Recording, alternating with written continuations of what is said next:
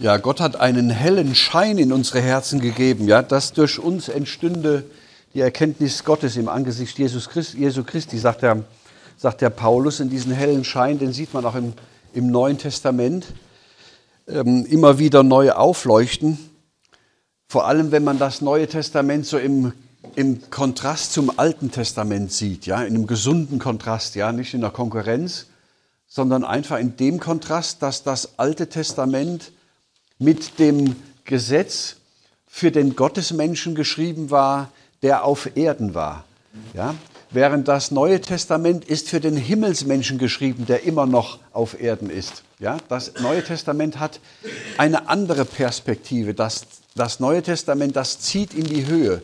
Das Alte Testament, das ist irdisch. Das ist wie, ich sage immer gern, wie so frisch geackerter Boden.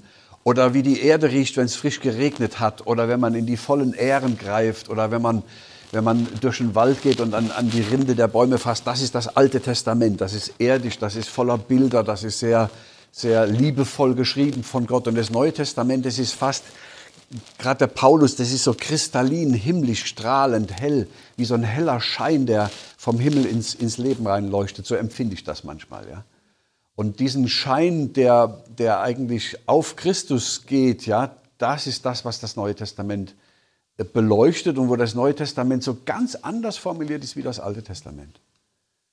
Also wir haben auf der Herfahrt auch gesagt, ich weiß ich glaube, ich habe es auch mal kurz erwähnt, dass Paulus sagt, wir sind mit Christus gestorben, wir sind mit Christus begraben, wir sind mit Christus auferstanden, wir sollen in Neuheit des Lebens wandeln mit ihm. Das ist so fremd dem Alten Testament. Ich drücke das mal ein bisschen anders aus, dann wird euch das deutlich, was das heißt. Wir sind ein Teil des Messias, oder? Das denkt man erstmal, Moment, Moment, Moment. Ja, wir sind doch ein Teil Christi. Christus ist das Haupt und wir sind die Glieder. Naja, Christus ist griechisch. Ja? Im Hebräischen heißt Christus Messias, Maschiach. Aber wir sind auch ein Teil des Messias. Das muss man sich mal auf der Zunge zergehen lassen. Das war ja Ketzerei, wenn die, wenn die Apostel das behauptet haben. Ja? Das ist ja so, dass Israel wartet auf seinen Messias und wir dürfen ein Teil des Messias sein, weil wir Teil der göttlichen Natur werden. Mehr darf man darüber nicht sagen. Den Rest offenbart Gott, wenn das soweit ist. Ja? So anders ist das Neue Testament im Vergleich zum Alten Testament. Und im Alten Testament hatte man halt die Vorgabe, dass man das Gesetz tun soll. Paulus sagt, das Gesetz ist nicht des Glaubens, das Gesetz soll getan werden. Und wer das Gesetz tut, der soll leben. Und zwar ewig. Wer hat das Gesetz getan? Christus als einziger. Und der lebt ewig. Ja? Hat trotzdem den Tod erlitten. Und da ist Platz für uns. Da hat er, der Mensch Jesus mehr getan, als für sein eigenes Heil notwendig gewesen wäre. Ja? Der Mensch Jesus hat für sein ewiges Leben das Gesetz gehalten und deswegen sollte er ewig leben. Deswegen hätte er auch mit seinem Leib leiblich jederzeit in den Himmel auffahren können, weil selbst sein Leib und sein Fleisch keine Sünde getan hatte. Ja? Deswegen konnte sein Leib auch auf dem Berg der Verklärung verklärt werden ins Himmlische, weil da keine Sünde dran war. Ja? Und ähm, er hat das Gesetz vollständig gehalten und hat zusätzlich den Tod erlitten, also die Strafe erlitten für das, was der Sünder normalerweise ähm, erleiden müsste. Und da hat er mehr getan, der Mensch Jesus, als für sein eigenes Heil notwendig gewesen wäre. Und da ist der Raum, wo wir uns hinstellen. Ich zeige euch mal ein paar Dinge, die mir auch ganz wichtig geworden sind, nämlich dieses Thema Frucht statt Werke. Und gilt das Gesetz äh, für den, für den Christen noch? Ja? Im Neuen Testament findet ihr nirgends die Aussage, dass man das Gesetz noch halten müsse. Man findet das nirgendwo. Das ist erstmal eine erstaunliche Aussage. Man findet aber so Aussagen wie zum Beispiel bringt Frucht, ja? Oder man findet so Aussagen wie das Paulus sagt, zieht den alten Menschen aus und zieht den neuen Menschen an. Das kann man aber nur, wenn man einen neuen Menschen hat. Ja, da muss man also wiedergeboren sein, da braucht man Gottes Geist für und dazu muss man von neuem geboren sein, dass man eine neue Natur hat. Und Paulus sagt, zieht diesen neuen Menschen an. Ja? Ähm, das heißt, dass im Neuen Testament ganz andere Vokabeln und auch eine ganz andere Perspektive aufgemacht wird wie im Alten Testament.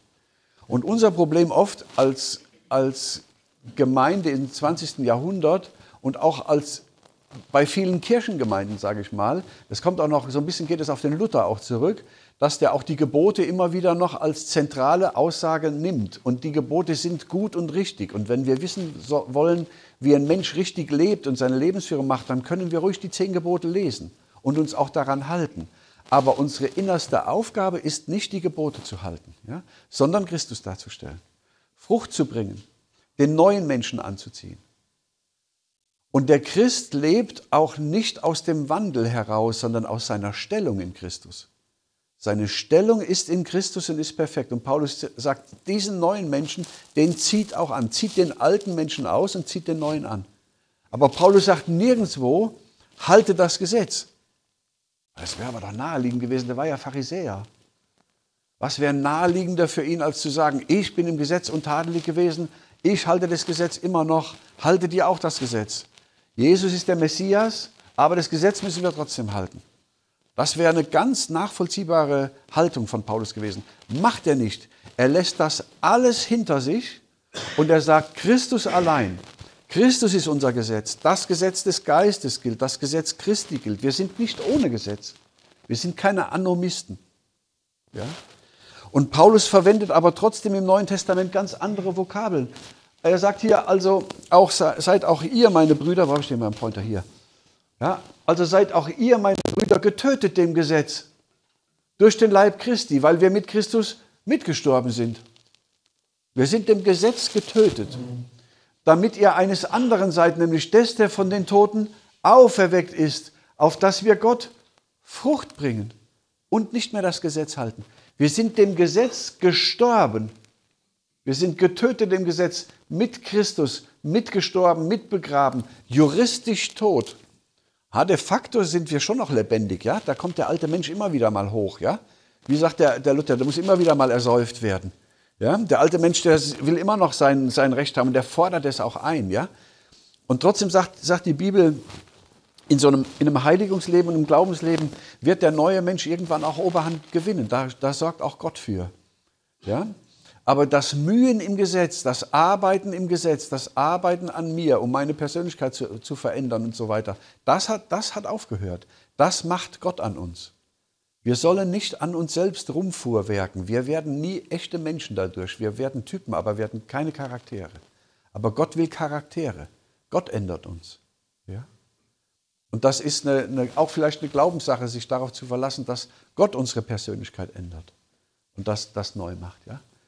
Und trotzdem ist der alte Mensch immer noch da. Und Paulus sagt ja auch, der, der Geist ist wieder das Fleisch und das Fleisch ist wieder den Geist, sodass ihr nicht tut, was ihr wollt. Ja, das, diese Zerrissenheit ist im Glaubensmenschen auch drin und die ist normal. Das ist eine natürliche Konsequenz daraus, wiedergeboren zu sein. Denn der Gesetzesmensch hat diese Probleme nicht. Ja? Der Gesetzesmensch sagt, was habt ihr denn immer mit eurer Sünde? Ist alles okay. Ich streng mich ja auch an. Ich ich wasche pünktlich mein Auto und zahle meine Steuern. Ist alles gut, ja? Ich weiß nicht, was euch fehlt. Der Glaubensmensch fühlt sich in so, einer, in so einem Umfeld, fühlt er sich, wie soll man das sagen, der fühlt sich alleine oder fühlt sich missverstanden, der, dem fehlt da etwas. Und wenn der sagt, mir fehlt aber das Evangelium, mir fehlt, ich kann das nicht richtig ausdrücken, was mir fehlt, dann sagen die Gesetzesleute, wieso? Ist doch alles gut. Wir lesen doch auch aus der Bibel und äh, ja, ich weiß gar nicht, was du hast. Die können das nicht verstehen, die können das nicht nachvollziehen kommen gleich nochmal darauf zu sprechen. Ja? Ähm, Paulus natürlich im Galaterbrief, ja, die Frucht, die Frucht des Geistes ist Liebe, Freude, Friede, Geduld, Freundlichkeit, Gütigkeit, Glaube, Sanftmut, Keuschheit oder Enthaltsamkeit. Ja? Ähm, er sagt, Paulus spricht von einer Frucht des Geistes. Für Paulus geht es nicht mehr darum, das Gesetz zu erfüllen, sondern er sagt, das, was das dass die Ausprägung des christlichen Lebens ist, ist eine Frucht. Und diese Frucht hat neun verschiedene Seiten. Das ist ein und dieselbe Frucht und die hat ganz unterschiedliche Seiten. Und die beschreibt er hier. Nicht die Früchte des Geistes. Das ist eine Frucht. Ja? Warum, warum soll ein Mensch denn, warum kann ein Mensch überhaupt Frucht bringen? Nein, nur wenn er lebendig ist.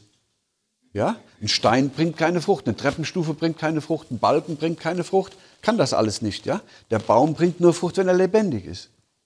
Ja gut, aber wenn wir wiedergeboren sind, wenn wir von neuem geboren sind, wenn wir von oben herab gezeugt sind, Dann sind wir ja lebendig geworden. Dann ist die Konsequenz auch nur eine, dass wir Frucht bringen. Ja? Und diesen Schritt, diesen Glaubensschritt und diesen Offenbarungsschritt zu gehen, aus dem Gesetz vom Sinai hinaus, hin in das Gesetz Christi und das auszuformulieren und so auszudrücken, das, das ist ein Wunder eigentlich. Ja? Das ist vom Himmel herab, was der Paulus da macht. Ja? Und dann beschreibt er hier diese, diese Frucht des Geistes. Ja? Oder in Philippa 1, Zumal aber im Fleischleben dient, mehr Frucht zu schaffen, so weiß ich nicht, welches ich erwählen soll. Das sagt, Paulus sagt, ich habe eigentlich mehr Lust abzuscheiden, beim Herrn zu sein. Aber wenn ich, weil ich noch im Fleisch bin und auch noch bestimmte Frucht bringen soll, weiß ich nicht, was ich soll ich noch erwählen, hier zu bleiben oder soll ich erwählen, lieber beim Herrn zu sein? Und diese Entspanntheit, ja, zum Herrn zu gehen oder hier zu sein, das ist etwas, etwas, diese Gelassenheit, etwas, was ich für mich suchen würde. Ich bin, so gelassen bin ich nicht. Ja, ich, ich will gerne noch einen Plan B haben und noch einen Plan C. Ja? Also diese absolute Ergebenheit in Gottes Führung und Willen, das ist für mich ein Schwachpunkt in meinem Glaubensleben. Meine Tochter hat einen Hund, das ist ein großes Vorbild für mich. So ein gelassenes Tier habe ich noch nie gesehen. Der liegt auf dem Boden und wenn du sagst, komm, wir gehen Gassi, steht er auf und geht Gassi. Oh ne, wir gehen doch nicht Gassi, dann legt er sich wieder hin. Der lebt im absoluten Jetzt. Ja? Für den gibt es kein Gleich oder eben noch oder nachher. Ja, klar, der hat Hunger, das ist ein Problem für ihn. Aber sonst, das ist, dieser Hund ist das, die absolute Gegenwart. Ja? Der lebt im, im absoluten Jetzt. Und, und wenn du dem was gibst, Käse mag er gerne. Ja? Warum, keine Ahnung warum, aber der mag halt Käse. Ist ein rumänischer Hund. Ähm, war auch günstiger, glaube ich, ja, aber ein ganz lieber Kerl. Und äh, mit Käse kannst du ihn auch irgendwie hinterm Ofen vorlocken, aber dann legt er sich wieder hin. Das ist die totale Gelassenheit. Und diese Gelassenheit, die finde ich so entspannt. Das ist natürlich ein schwaches Beispiel. Ja, ich entschuldige mich. Also der ähm, Oliver, äh, der Olaf Latzl hat, glaube ich, auch mal seinen Hund irgendwie zitiert in der Predigt. Ja, ist ja gar nicht mein Hund. Ja. Ich will damit nur ein bisschen illustrieren, diese Gelassenheit beim Paulus, äh, sind, zumal aber im Fleisch zu leben dient, noch mehr Frucht zu schaffen, weiß ich nicht, was ich erwähnen soll. Also er hat Lust abzuscheiden, aber er weiß, es ist noch gut hier zu sein. Und diese Gelassenheit zu sagen, ich bin jetzt hier, hier hat mich Gott hingestellt, hier bin ich und hier stehe ich auch und ja, hier tue ich auch meine Arbeit. Ähm, das ist eine, eine schöne Haltung im, im Glauben eigentlich. Ja. Aber diese, diese Frucht zu bringen oder, oder auch zu sagen, der Glaube allein an Christus genügt, das ist etwas Skandalöses. Ja? Und, und das erlebe ich auch immer wieder im Internet. Wenn ich sage, der Glaube allein genügt, dann sagen mir halt viele Leute, ich habe das gestern schon mal angedeutet, die sagen, du willst ja wohl in allen Sünden leben. Und das kommt daher, da, da ist ein Missverständnis passiert da. Weil ich sage, um gerecht zu werden vor Gott, genügt der Glaube. Aber diese irdisch gesinnten Christen, denen geht es nicht darum, ob sie gerecht sind vor Gott. Das wähnen sie sich ja ohnehin. Denen geht es um etwas anderes. Denen geht es darum, ein christliches Leben zu leben ein ethisches Leben, ein moralisches Leben, ein christliches Leben zu tun, um sich selber zu zeigen, dass sie recht sind und anderen zu zeigen, dass sie recht sind und Gott zu zeigen, dass sie recht sind. Das ist eine ganz andere Haltung, die dahinter steht, hinter diesem Glauben. Und wenn ich jetzt komme und sage, der Glaube genügt, dann missverstehen Sie mich. Ja? Und euch auch. Weil ihre Perspektive ist eine andere. Ihre Perspektive ist ja, wie kann ich mein Glauben, mein Leben christlich leben? Und wenn ich jetzt sage, der Glaube genügt, dann denken die, ich hätte gesagt, um euer christliches Leben zu leben, braucht ihr gar nichts zu tun. Und das sage ich nicht. Das ist das Missverständnis. Ich sage, um vor Gott gerecht zu werden, genügt allein der Glaube. Und es gibt nichts anderes, womit wir vor Gott gerecht werden könnten, als der Glaube an das, was er auf Golgatha getan hat. Ja? Das heißt, meine Blickrichtung geht dahin und deren Blickrichtung geht dahin, hierhin. Hände, Füße, Beine. Ich will was tun. Ich will was tun im Glauben für Jesus. Ich habe auch keinen Fisch auf dem Auto, ich habe einen Thunfisch auf dem Auto. Ja? Ich will was tun. Ja? Ich bin ein Tu-Christ. ja? Manchmal sieht man das so. Ja? Ich freue mich über jeden Fisch, den ich auf dem Auto sehe. Ja? Ich habe der Anja gesagt, wir, haben, kleben jetzt auch einen aufs Auto. Zu Hause liegt wohl irgendwo einer. Ja? Und ich finde das gut. Also im Süddeutschen findet man das ganz oft viel öfter als hier. Aber ich schmunzel manchmal so ein bisschen.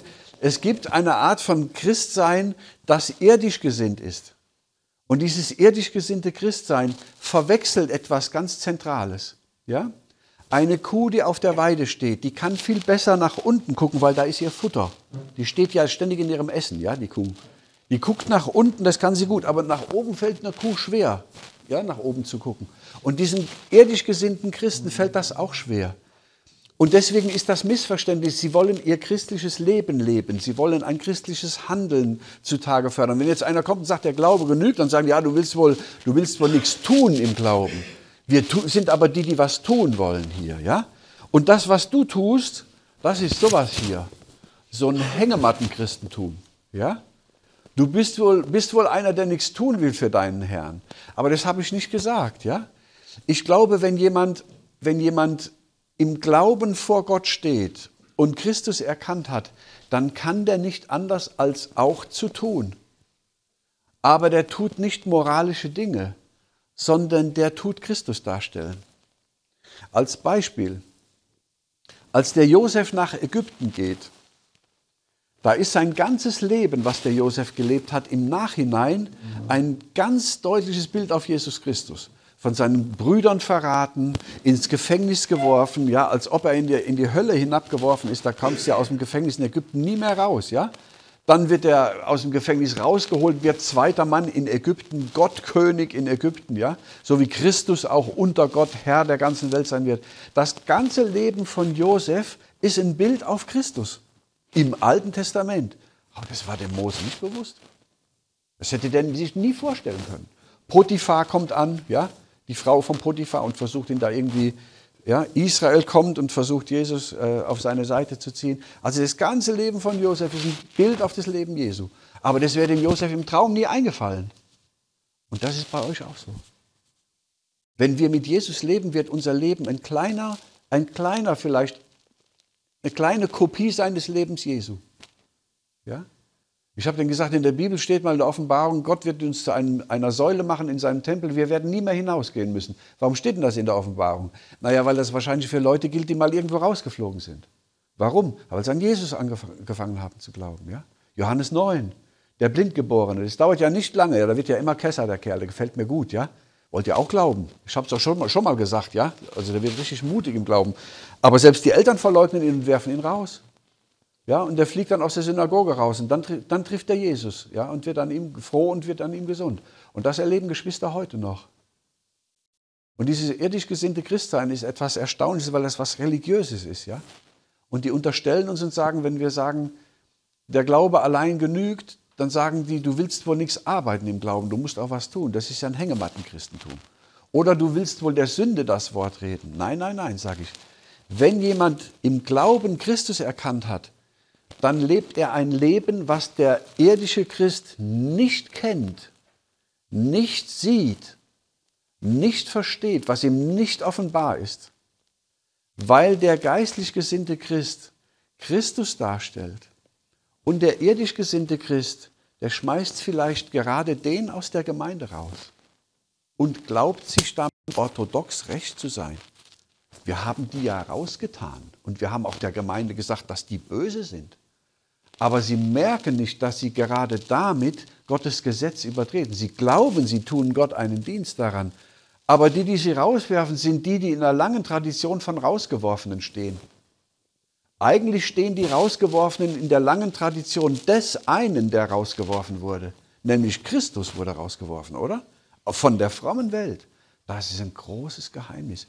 Und das ist den geistlich, den irdisch gesinnten Christen nicht offenbar die können das nicht sehen, weil deren, die haben nicht die Perspektive dafür.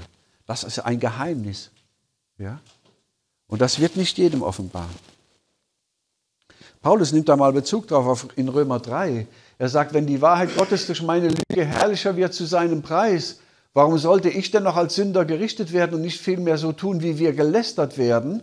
Ja, sie werden ja gelästert von anderen Leuten und wie etliche von uns sprechen, dass wir sagen, lasst uns Übles tun, auf das Gutes daraus komme.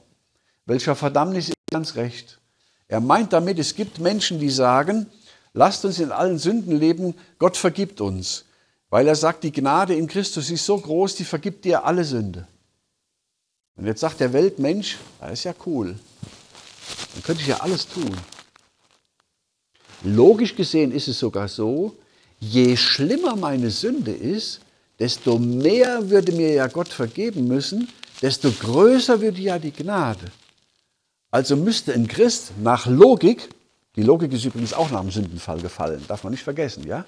Aber nach logischem Schluss würde aus der, aus der Aussage, dass die Gnade Christi groß ist, würde nach der Logik heißen, lasst uns viel sündigen, damit Gott uns viel vergibt, dann wird seine Gnade auch groß. Darauf spricht Paulus hier an. Paulus entlarvt im Römerbrief die Logik des Menschen als sündig. Und das ist ein Teil davon. Ist schwierig ein bisschen vielleicht zu verstehen, ja? Aber er sagt, uns wird unterstellt, dass wir sagen würden, die Gnade Christi ist so groß, ähm, dass äh, sie noch größer wird, wenn wir Böses tun, ja? Aber sagt er, das ist ja nicht die Konsequenz aus dem, was wir predigen.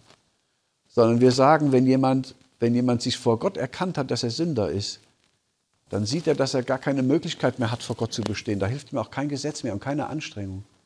Da hilft ihm nur noch eins, zu glauben, dass Gott für diese Sünde eingetreten ist. Mehr nicht mehr. Und dann wird er langsam gesund. Dann versteht er sich selber in Gottes Angesicht. Und der wird die Gnade Gottes nie auf Mutwillen ziehen, sondern diese Gnade macht ihn gesund und macht ihn stark und gibt ihm ein ganz anderes Licht, als der irdisch gesinnte Gesetzeschrist das hat. Das ist eine ganz andere Kategorie. Ja? Wenn der dann, vielleicht ziehe ich das kurz ein bisschen vor, stellt euch vor, ein Bauer macht, ich erzähle das immer gerne, ein Bauer macht Abendessen in seinem Hof. Und wie so eine Parabel, ja. Und jetzt lädt er nicht nur seine Kinder ein, sondern auch Ochs und Esel, ja. Das Vieh kommt auch zum Abendbrottisch. Und die sitzen alle mit dem Bauern, mit seinen Kindern sitzen die alle am Tisch. Der Esel sitzt dabei, der Ochse sitzt dabei, das Pferd sitzt dabei, die Kinder vom Bauern und der Bauer mit seiner Frau auch. Und die essen zu Abend und dann sagt der, sagt der Esel irgendwann, du Bauer, deine Kinder arbeiten hier nichts. Ja? Ich ziehe immer den schweren Wagen in die Stadt und ich muss die schweren Säcke zum Müller tragen. Ja, ja, sagt das Pferd. Und ich muss den Flug ziehen. Ja? Und der Ochse sagt, ja, ich auch. Und ich kriege auch nur Gras zu fressen. Und die da essen Marmeladebrote. Das ist nicht in Ordnung. Ja? Die müssen auch was arbeiten. Ich habe noch nie gesehen, dass die was arbeiten. Schau uns an, sagt der Esel. Ich bin ein Esel. Mein Vater war schon ein Esel. Mein Opa war schon ein Esel. Ja? Wir sind alle Esel gewesen. Und wir sind stolz drauf, Esel zu sein. Wir arbeiten was. Wir verdienen uns das hier, dass wir hier sind. Aber die da, die nicht. Die arbeiten ja nichts. Das sind so Hängematten-Christen. Ja? Und der Bauer sagt zu denen, passt mal auf, ihr seid mein Vieh. Und ihr seid hier, weil ich euch brauche auf dem Bauernhof. Ja? Aber die da sind meine Kinder. Und wenn ich mal nicht mehr lebe, dann erben die den ganzen Hof und die erben euch auch. Warum? Weil das meine Kinder sind. Die Kinder vom Bauern sagen, ja, wir würden gern was arbeiten, aber den Flug, den können wir keine 10, 10 Zentimeter durch den, durch den äh, schweren Boden ziehen. Da, da sind wir nicht stark und das können wir nicht. Wir können auch nicht das Gras fressen, was der Ochse frisst. Das können wir nicht verdauen. Wir brauchen Milch und wir brauchen Marmeladebrote, bis wir groß und stark werden, ja? Das ist ein bisschen das, was das Gesetzeschristentum und was das Gnadenchristentum, was die Gnadenkinder unterscheidet. Das ist ja nur eine schwache Parabel, aber da geht es eigentlich drum. Und diese, aus diesen beiden Arten von Glauben bestehen Gemeinden. Und manchmal ist das Schwergewicht auf den Kindern Gottes und manchmal ist das Schwergewicht auf den Eseln. Ja? Und wenn zu viele Esel in der Gemeinde sind, dann fühlen sich die Kinder nicht wohl dort. Aber die können das den Eseln nicht vermitteln. Entschuldigung, weil ein Esel bleibt leider ein Esel. Ja? So lange, bis Gott sich ihm offenbart und er auch zum Kind wird. Und dann versteht er langsam. Das, worüber wir reden im Evangelium, das ist ein Geheimnis. Das wird nicht allen offenbart. Ja? Und das ist was, was ganz Besonderes die, die Kinder Gottes, die haben Heimweh, die haben Hunger, ja? die, die haben ganz andere, eine, ganz, eine ganz andere Art von Sehnsucht in ihrem Glauben. Die suchen etwas ganz anderes. Die haben eine andere Art von Hunger, eine andere Art von Appetit. Dieser Appetit wird nicht von jeder Predigt ge ge gestillt. Ja? Dieser Durst kann nicht von jeder Predigt gestillt werden. Die Gesetzespredigt ist ihnen zu wenig. Dieses, dieses Streu und, und Hafer, das können sie nicht essen. Ja? Die brauchen etwas anderes. Ja? Deswegen ist das Evangelium, was wir predigen, nicht immer nur Marmelade. Ja? Das ist auch mal kräftige Speise. Das darf auch mal schmerzen, das darf mal wehtun, aber das darf nie töten. Das darf es nicht. Ja? Das ist auch spannend, ja, dass Jesus sagt, wer meine Gebote hält, da haben wir schon kurz mal drauf, drauf äh, Bezug genommen. Wir sollen ja nicht die Gebote halten, sondern wir sollen Frucht bringen, ja. Und Christus sagt, wer meine Gebote hält und äh, hat und hält sie, der ist es, der mich liebt. Wer mich aber liebt, der wird von meinem Vater geliebt werden und ich werde ihn lieben und mich ihm offenbaren. Hat sich Christus euch offenbart? Habt ihr etwas Neues geschmeckt? Habt ihr etwas anderes geschmeckt, wo ihr sagt, ach, das ist was, das ist anders als was, das, was ich bisher kannte. Da möchte ich mehr von. Das, das ist das, wonach ich Sehnsucht habe. Ja?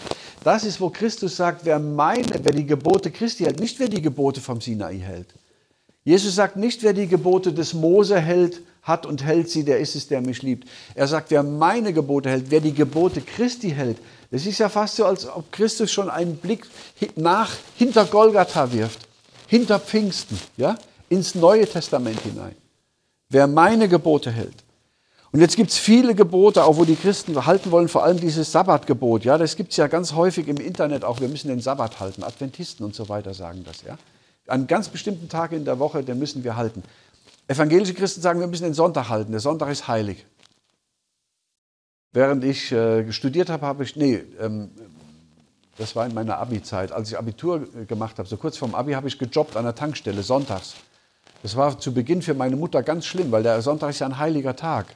Du sollst ja den Feiertag heiligen. Das ist eines der zehn Gebote, oder? Ja, welchen Feiertag? Den Schabbat oder den Sonntag? Muss man ja mal gucken. Steht ja im Alten Testament. Oder nur den siebten Tag der Woche. Kann man sagen, ich bin Krankenpfleger, ich heilige den Dienstag. Und es ist immer der siebte Tag. Ja? Da steht ja gar nicht, du sollst den Sonntag heiligen. Da steht auch nicht, du sollst den Samstag heiligen. Du sollst den siebten Tag, der soll heilig sein. Den sollst du halten. Ist es überhaupt noch wichtig, einen Tag zu halten? Gibt es heilige Tage? Nö. Gibt es heilige Orte? Gibt es heilige Gegenstände? Gibt es heilige Handlungen? Gibt es heilige Zustände? Nö, das gibt es alles nicht. Es gibt keine heiligen Talismane. Das, da, der Ort ist dort heilig, wo ein Christ ist. Da ist der Ort. Es gibt heilige Menschen in Christus, das gibt's. Aber es gibt keine heiligen Gegenstände. Es gibt kein heiliges Weihwasser. Das gibt es nicht. Christus ist heilig. Die Gemeinde Jesu ist heilig. Aber heilige Handlungen, Sakramente, heilige, das gibt es alles nicht mehr.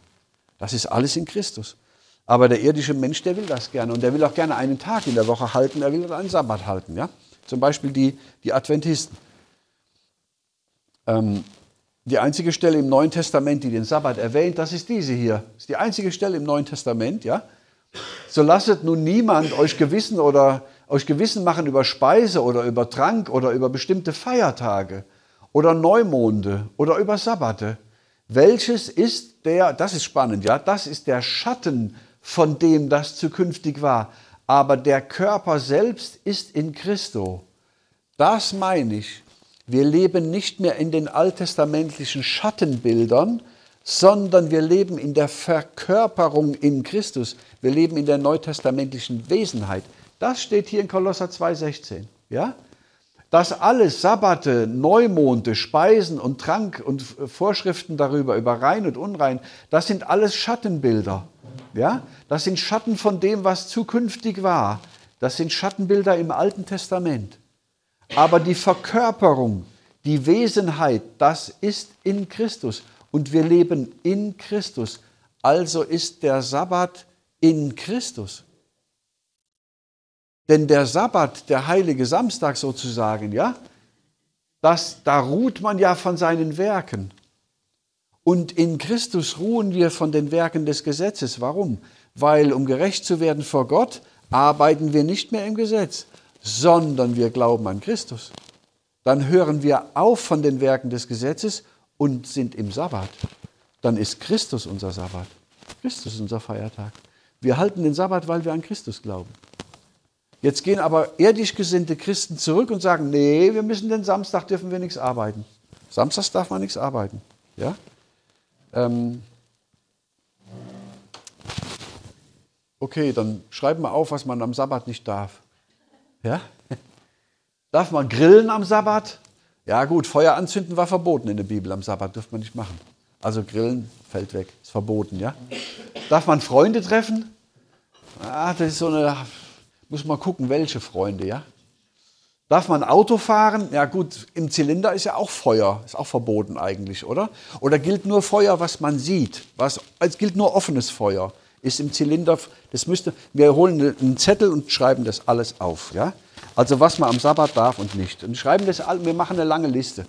Und wir formulieren auch aus, welche Art von Feuer am Sabbat erlaubt ist und nicht. Das wird nicht nur eine Liste, das wird ein tausend Seiten dickes Buch, das wird ein Talmud. Und dann sind wir im Judentum. Das wird Gesetz. Ja? Denn dann müsste man ja formulieren, darf man am Sabbat kochen, darf man Sport machen, darf man mit dem Aufzug fahren? Die Israelis werden euch schon sagen, nö, das dürft ihr nicht. Da darf man nur, wenn man so einen Schalter einbaut, wo man draufdrückt, dann muss man ein paar Sekunden warten und dann fährt der Aufzug. Weil man darf nämlich nicht am Sabbat, ich glaube, irgendwelche Rädchen bedienen, ja, da darf sich kein Rad drehen. Und wenn man auf so einen Aufzugknopf drückt, dann, dann würde man ja den, den Aufzug in Gang setzen. Deswegen haben die so eine kleine Zeitschaltuhr da in Israel, ja, dass man da so drauf drückt, dann dauert das so 15, 20 Sekunden am Sabbat und dann fährt erst der Aufzug. Damit man bloß das Gesetz nicht über. Ist es das, was Gott will? Ist Gott so? Nein, also kann ich mir nicht vorstellen. Ja? Aber das macht man halt mit, den, mit dem Sabbat. Und dann müsste man ja das alles aufschreiben. Was ist denn mit den Speisegeboten? Was darf ich denn essen? Esst ihr gerne Sushi? Ja? Fisch dürft ihr essen, aber Scampi dürft ihr nicht essen. Scampi ist nicht koscher. Ja? Also, also aus dem Meer darf man nur essen, was, äh, was Flossen hat. Ja? Dann gibt es halt da Speisegebote und Reinheitsgebote. Was ist mit der Kleiderordnung? Mischgewebe ist verboten. Also Baumwolle und Viskose, no go. Ja? Also müsste ich das schon mal hier ablegen. Ja? Das, ist, das sind Gebote aus dem Alten Testament. Was ist mit dem Verbot, nicht mit den Heiden zu essen? Könnt ihr das auch einhalten? Nö, ihr seid ja selber Heiden. ja? Das ist aber verboten im Gesetz mit den Heiden. Das darf man nicht. Hat Petrus ja auch gemacht.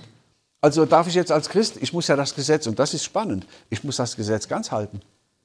Ich darf nicht Sachen aus dem Gesetz rausnehmen und sagen, ja gut, mit den Heiden essen kann ich ja jetzt nicht einhalten. Ich, wenn ich arbeite in der Kantine, sind ja überall Heiden. Ja? Außerdem bin ich ja selber einer. Dann lasse ich das Gebot mal weg oder wir nehmen vielleicht das ganze kultische Gebot, die ganzen kultischen Gebote tun wir alle weg, weil wir haben ja auch keinen Tempel mehr.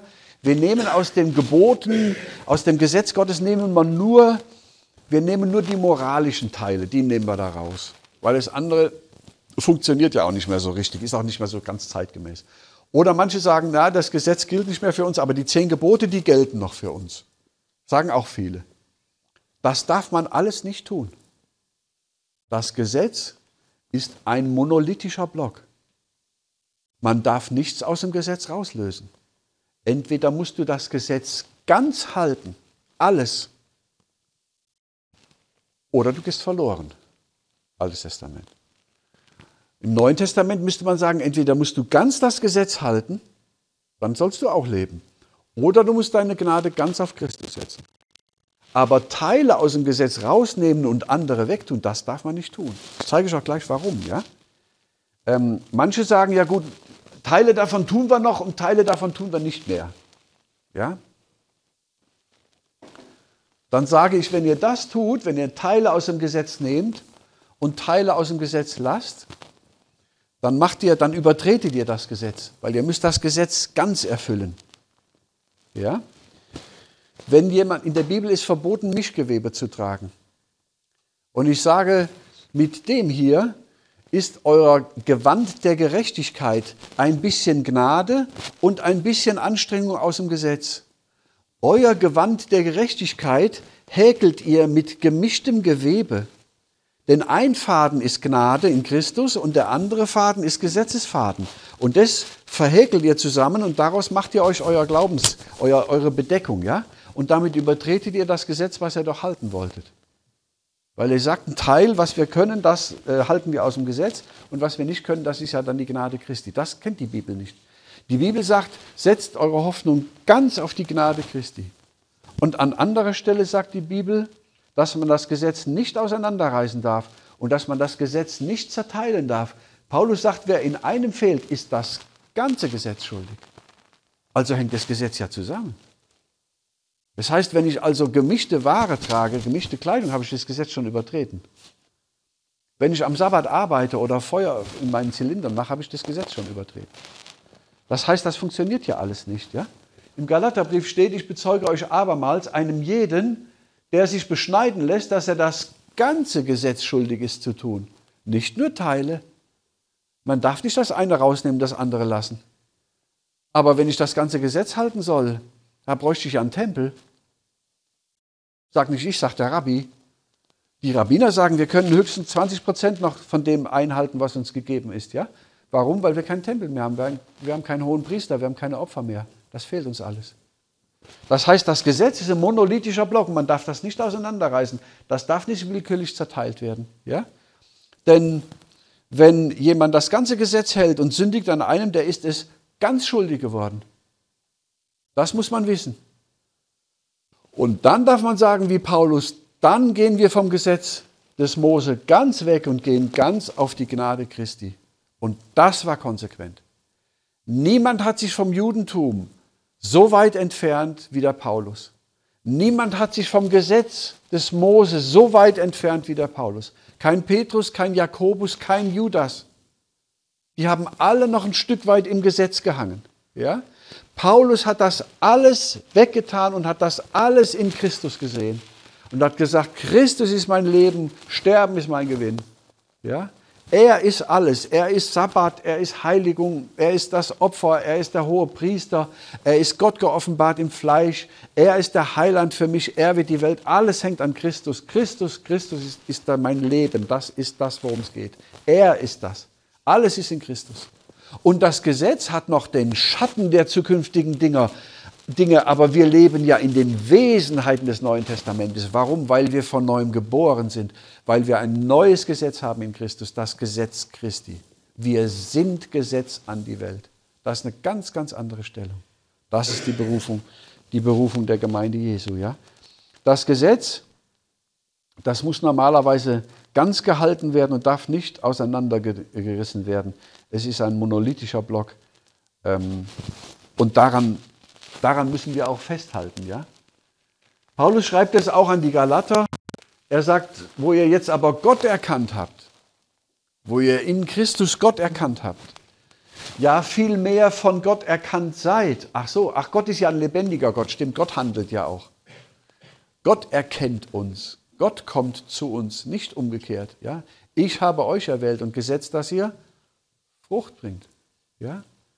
Ihr seid von Gott erkannt. Wieso wendet ihr euch denn wieder, wiederum zu den schwachen und dürftigen Satzungen, welchen ihr von neuem an dienen wollt? Ihr haltet Tage, Sabbat und Monate und Feste und Jahre. Ich fürchte für euch, dass ich vielleicht umsonst an euch gearbeitet habe. Ihr Galater, ihr seid ja wieder irdisch gesinnt. Ihr wollt ja wieder Tage einhalten, ihr wollt euch auch noch beschneiden lassen nachher. Dann, sagt Paulus, dann müsst ihr das ganze Gesetz halten.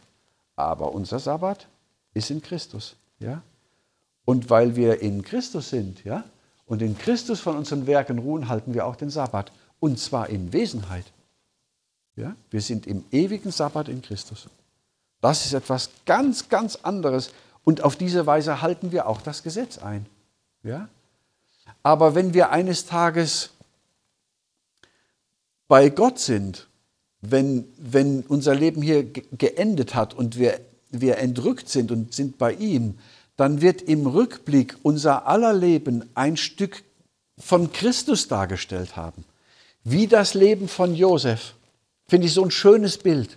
Josef hätte sich das nie träumen lassen, dass ein Bild auf den Messias ist mit seinem Leben. Der hat gesagt, sein Leben ist voller Unbilden und voller Bosheiten der Brüder. Und Gott hat es dann doch gut gemacht, ja. Aber dass er ein Bild für Christus war, hätte er sich nie träumen lassen. Und das ist bei uns auch so. Wenn wir bei Gott sind eines Tages, wird unser Leben ein Bild gewesen sein auf ihn.